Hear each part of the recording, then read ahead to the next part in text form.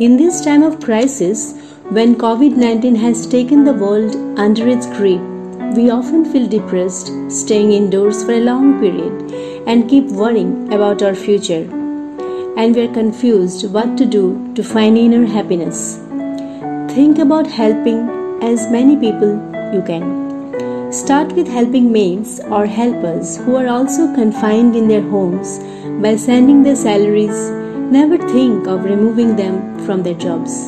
Remember, you are in a far better position than them.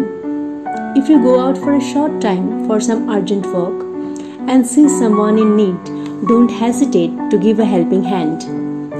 If you can collect money with neighbors or friends or colleagues, do that and distribute food among poor or migrant workers who are not getting food. Some even don't have roof above them and are not able to return to their native places.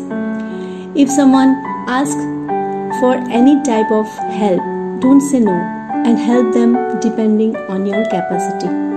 If you have elderly relatives staying far from you, call them and talk with them, as talking is also a way of healing. If you follow even any one of the steps, you will find a different kind of peace inside, and it will definitely lift your mood, and you will find inner happiness. Do share your experience in the comment section. Meet you again in my next video. Till then, stay safe and healthy.